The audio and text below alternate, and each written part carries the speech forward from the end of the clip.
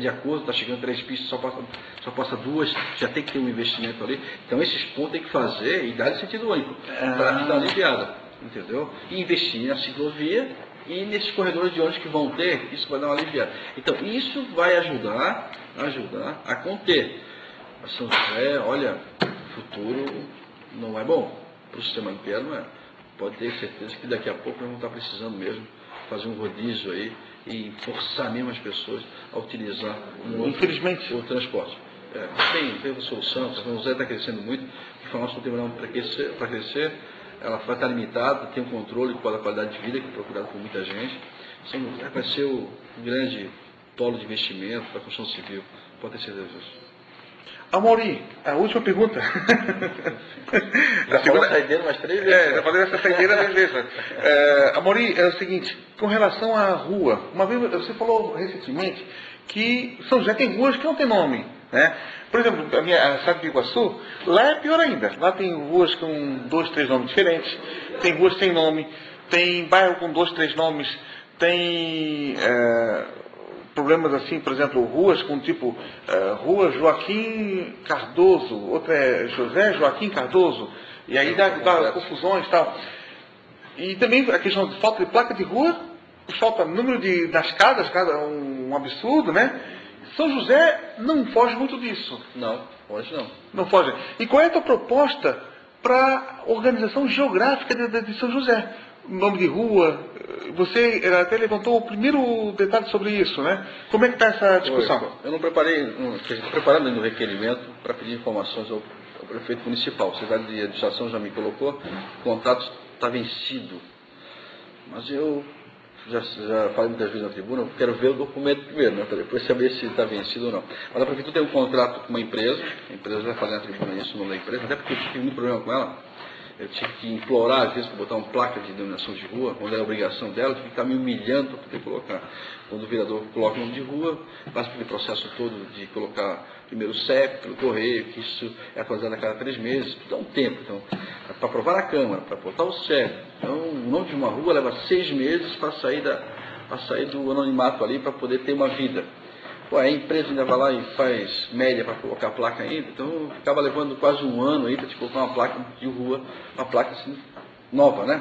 Rua nova, que as pessoas estão esperando ali a denominação para colocar até sumo na casa e poder ter correspondência.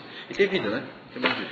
Não, e é uma. é, Então, isso é, a- é o contrato de denominação de placas, de denominação de ruas, né? Que o contrato, a empresa, ela explora um espaço comercial, em cima das placas, ela É. vende aquele espaço. Né? Em contrapartida, tem que fazer um número X de placas para o município colocar. Só que esse contrato está muito tempo. É como eu falei, se ela tivesse colocado todos que ela tinha compromisso de colocar, São José hoje estava bem. Não está bem, porque faltou fiscalização da prefeitura, faltou falta de controle.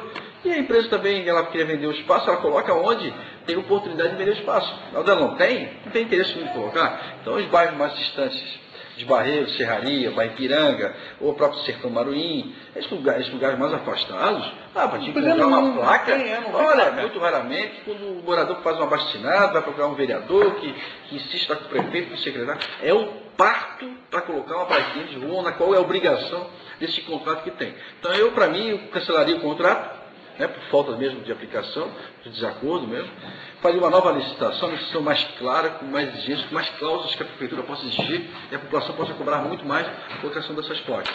Agora, denominação, aí já passa por uma revisão, que os nomes estão às vezes trocadas as letras, estão grafia, É. né, errada, às vezes algumas duplicatas, mas isso de duplicados não existe muito não. Existe muito que é um controle pelo nosso legislativo da Câmara. Isso, isso Para não dar confusão. O que tem são as grafias. Né? Grafias, Grafias. vê lá, Jo- Joaquim Manuel da Cunha, é, Jo- Joaquim da Cunha, aí falta o Manuel, aí já não sabe se é a mesma rua. É. Entendeu? Então isso um às vezes é problema do cara que faz a placa, que também não está nem aí, uma responsabilidade, depende de saber o nome completo, porque a lei, quando vai para eles, vai a lei, é, aprovado pela Câmara, sancionado pelo prefeito, e mais o CEP criado pelo, pelo Correio. Vai certinho, certinho. Ah, tem algumas antigas que às vezes iam abreviadas, entendeu? Mas hoje vai muito completinho esse trabalho. Eu faço também número de casas, né? É número de casas. Para ter número de casa hoje, ela precisa ter uma... É um, é um, é um sistema métrico, né? É do começo da isso, rua? aí- É. Isso foi com, com o tempo, né? Com o tempo. agora A pessoa colocava, grosso modo, escolhia o número lá e colocava. É, mas a, a obrigação era... É o nome do bicho. Mas tem que ter o alvará de construção, pegar o habite, quando construir o habite, quem dá o número da tua casa é o fiscal. É o fiscal, Ele vai fazer a vistoria da sua casa. Mas sabe que hoje nem 5% das casas tem habite São José? Ah. No Iguaçu deve ser a mesma coisa. O pessoal constrói, às vezes pega o alvará e depois não pega o habite. Né? Ou aqui eles pegam o alvará ainda, né? Tem gente que já toca, passou o CREA e acaba tocando, na é verdade? Isso é uma, uma verdade. Claro, o Correio criou uma, uma, um critério de colocar o número. Distância das ruas principais. Né? Aí pega lá Ruiano saindo da Avenida Alberto Leal. É. Aí começa o número 1. Ah, não, não é bem assim, é pela distância. Pela o terreno tem 12 metros, aquela casa tem que ser o número 10 ou 12, do lado direito. Do lado direito. Do lado direito. Do lado esquerdo, está dando uma dica para o pessoal que não tem placa, né?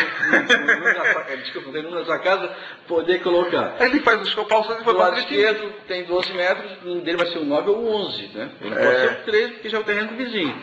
Então ele tem que ser o número 9 ou o número 11. Então, lado direito, par, lado, lado esquerdo, ímpar. E os números têm que ser abaixo do número total do seu terreno.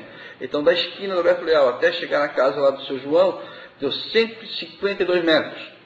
Então, o número dele vai ser o 152 ou 150. Então, pode ser o 154, porque aí já está pegando outro terreno. Então, esse é, é, o jeito de colocar as placas, que é um critério criado pelo correio, que facilita o carteiro, que ele sabe qual é a distância que tem da boca da rua, né, do início da rua, até chegar na casa, ele sabe que vai dar 500 metros para comprar aquele número. Porque o número 500 e pouco está 500 metros. Então, ele consegue se, se encontrar dentro dessa distância. Então, assim que é feito, então, hoje as pessoas colocam grosso modo, mas já é uma orientação, se for colocar, mesmo se for colocar é, sem ter o habite, mas que siga esse critério, pelo menos está se encaixando de acordo com o correio e vai facilitar o trabalho do carteiro, não só do carteiro, mas das empresas que entregam Tudo. Pega pizza, jornal, x-salada. Facilita tudo. A loja aqueles. Então, o que eu quero é o seguinte: ou a prefeitura toma uma posição sobre isso, ou cancela o contrato e faz nova licitação. Não tem mais, não tem, mais como esperar e, e postergar essa situação. O município está sofrendo, está perdendo. Né? As pessoas pedem, às vezes não encontra local, volta é, para a contadora, não consegue encontrar, porque tem placa. Tem placa que lá na casa. Outras estão num poste, outras estão num mastro de ferro. Então não tem critério nenhum, uma coisa feia, mal apresentável. Então está na hora da gente ter excelente qualidade de serviço. Pô, é. o seu imposto, quer ter esse... não tem que ser boa não. Tem que ser excelente, entendeu? Fez um contrato, não prestou, cancela, a licitação. É uma forma aqui na Câmara de Vereadores. Foi feita uma licitação, foi feito um contrato com uma empresa, não prestou um serviço, já cancela, já faça uma licitação e vai embora. Agora não podemos é pagar um serviço, estão pagando, ou se foi uma permuta, se for mal feita, o cara que faça uma revisão e contrata uma empresa se pague, sei lá, dessa contrapartida para o cara poder colocar mais placas, se às vezes o espaço do Estado não é o suficiente, mas se faça uma revisão e o que tem é que agradar a população. A população tem que ter qualidade de serviço, cara. E placas boas, que o material seja da. Está vendo propaganda? Da 3M, né? Que é um material colocado numa que não solta. Né, outras marcas já poucas são boas, tem, mas tem que se cobrar, como tem aqueles adesivos do motoqueiro, capacete, exigiram, a lei foi feita colocou lá a marca 3M, mas na verdade tem razão mesmo, porque é a mesma marca que tem a 3M, só lá não solta, acaba não soltando, não cria com as orelhas, e a gente vê muito sem plaquinha, né?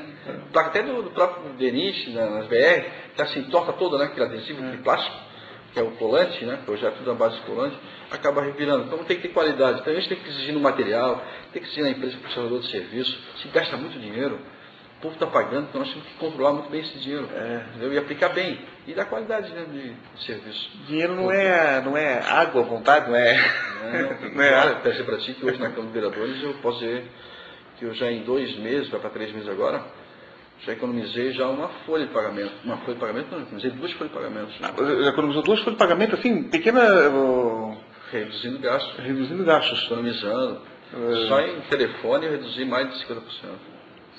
Sim, criando critérios, critérios. O dinheiro do povo, cara, tem que economizar, tem que saber bem aplicar. E eu vou economizar, claro, estou economizando até porque eu quero fazer a reforma da Câmara, né? quero revitalizar o prédio aqui. Mas quero fazer sem precisar fazer financiamento, sem comprometer os outros presidentes, sem comprometer prefeito, nem, nem ninguém. Usar o recurso próprio, economizando e construindo.